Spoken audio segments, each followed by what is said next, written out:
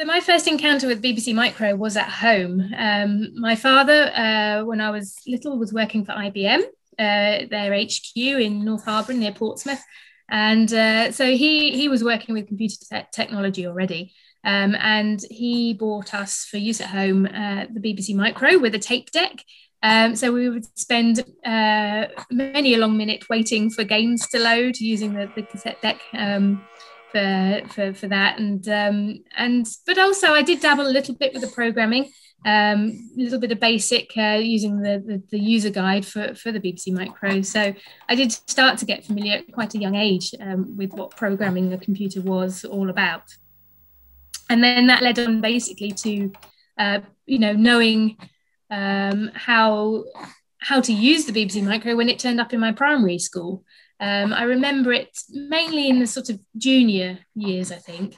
Um, but uh, certainly one of the things that does stick well in my mind when we when we talk about the micro at, at primary school was the use of um, uh, the turtle, the programmable turtle. And I'm, I'm sure it had a specific name, but what I do remember is we were able to program commands in using the BBC Micro, and off it would go around the room, much to our amusement. So, um, so yeah, so home, um, dabbling, playing games. Um, and at school, certainly learning how to program and, and um, you know, word processing, I think was another thing we certainly did at, at primary school as well. So yeah, getting the first taste of um, seeing my words printed on a piece of paper. So that was exciting. And then that led me on to secondary school. And secondary school we um, had moved on from the BBC Micro. We're getting into the sort of early to mid 90s now, but um, that ages me obviously but uh, we were using ps1s by then um, but you know by this stage having you know having spent um, getting on for nearly 10 years being familiar with what a computer was i was certainly very happy with um, you know sort of getting to grips with um, you know using computers for my schoolwork. And and um, i did a an information technology gcse and an information technology a level and then that led on to um, I did my degree in meteorology which was maths and physics but uh, i did some it modules as well. Um, i was still finding that programming was not my forte um, but you know, I was familiar enough and comfortable enough with the programming languages that you know I could I, I wouldn't be fazed by um, you know sort of that sort of language if I needed to be um, you know if I needed to to do anything in that regard. So HTML I did a little bit of and uh, Visual Basic as well.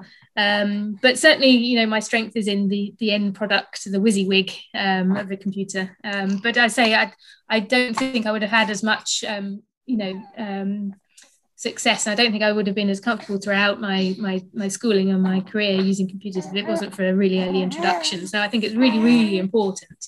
Um, and I hope to do the same for my daughters, you know, introduce them to computer technology as early as possible so that they get the best start and uh, for the future as well.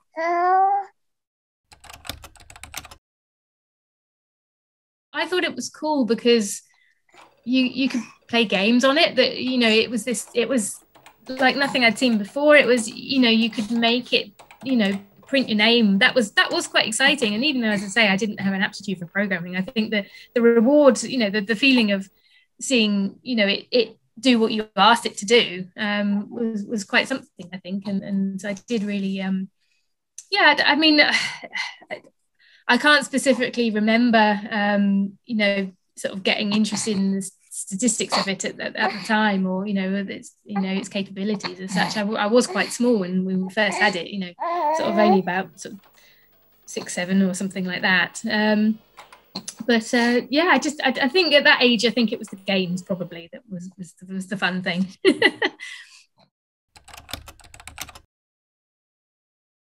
the mere fact we had the turtle in the room, um, it did feel like there was a definite desire to get us familiar and get us using this in in, in a in a positive way.